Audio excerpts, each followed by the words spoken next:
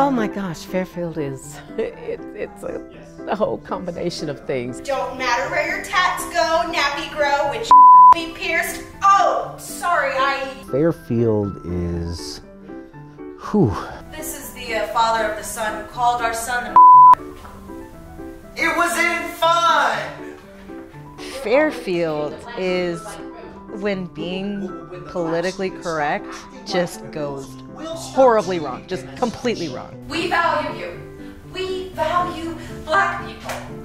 Besides, Worst, this but the best. Hi, I'm Jada Suzanne Dixon. I am the director of Fairfield, written by Eric Coble. The first time I read this play, I have to be really honest, I just didn't know how I felt about it. There were things that made me roll my eyes. There were things that made me shake my head. There were things that made me snort laugh out loud.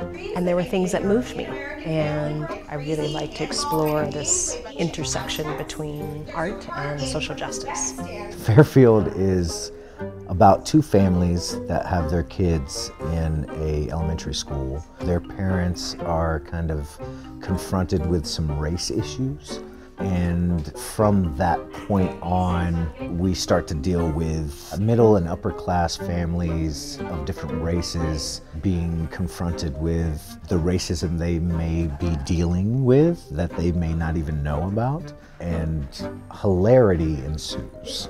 I mean, a month ago we were smiling at each other, waving across the parking lot at pickup time, right? I mean, I, I recognize you. How can waving be a lie? Hello!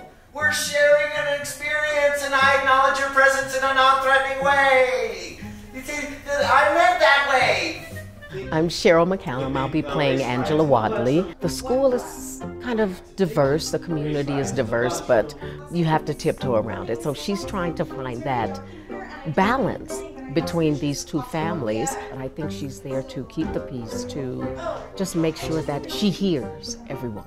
Hi, I'm Mackenzie, and I'm playing Molly Flemington. Molly is really honestly trying to figure out how to live in this world and how to be a good person and how to be living in an integrated community and a diverse community. And she's very earnest about that intention and wanting it to work out. Can I just say, we not only voted for Obama,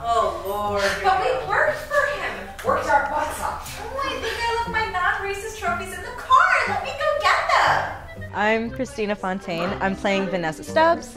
Every day in rehearsal, I literally get reminded about why I love this profession so much because this show is one of the funniest shows I have ever read. If you'll just Wait, your name is Stubbs? Is that what you said? You're that Devontae kid's mother, aren't you? His name is Deontay. D.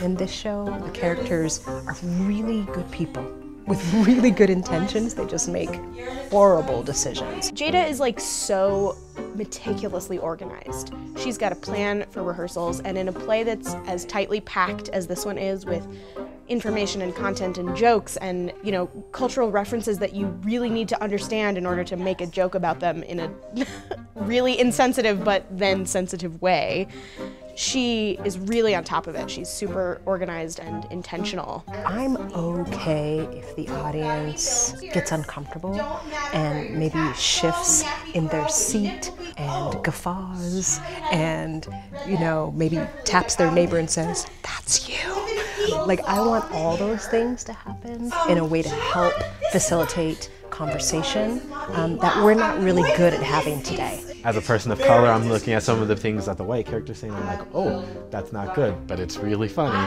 And even some of what my character and my wife Vanessa's character says as well. Like just thinking like, ooh, that's that's a little off, but it's also really hilarious. I think people should come to see it because they will be challenged, they will be uplifted, they will laugh their butts off, and more so, it will make them think. It will make them think about their own lives, their own beliefs, not beliefs, where they fit on this crazy scale that Fairfield is. It's a really good time. Like, it's gonna be a fun time. You will not regret it.